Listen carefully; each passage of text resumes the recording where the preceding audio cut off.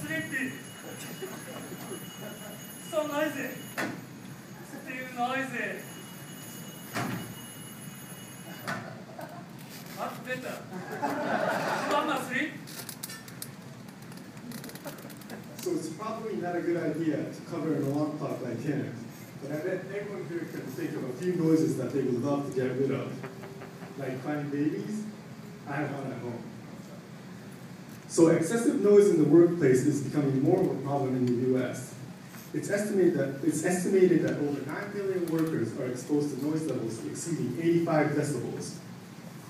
That noise can be coming from lab machines in factories or the computer server in your office. Whatever the noise, Aural Sonic is capable of bringing noise levels down up to 34 decibels. Another problem is traffic noise. It's estimated that more than 20% of the population is exposed to traffic noise levels exceeding 55 decibels at night.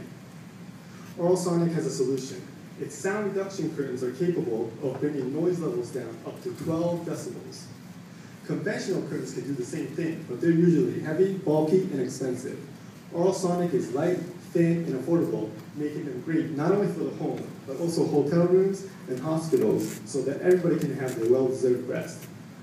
Aural Sonic is great for providing meeting rooms, classrooms, churches, nursing homes, restaurants, bars, call centers, offices. How do we know that it works? Well, it's been out in the market in Japan for two years and used by companies such as Panasonic, NHK, and Fuji TV. It's also used by the Japan Red Cross and the Ministry of Defense. In the US, it's used by musicians such as Peter Erskine, Dave Weckl, and Ryuichi Sakamoto. Anybody heard of the Oscars? It was actually used in the orchestra pit at this year's Academy Awards. Why?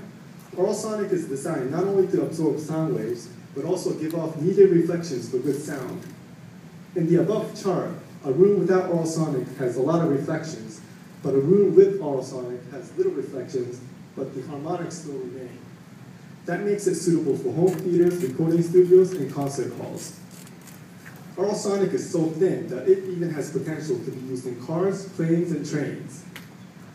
Japan Railways is testing Aural Sonic to see if it can be used in their cars.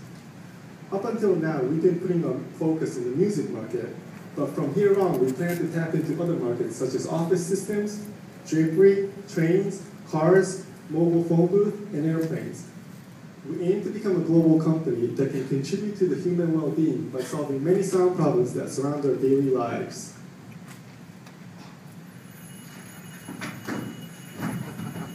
Oh no, I'm late. Thank you, and uh, please visit our booth la- later for uh, more demonstrations.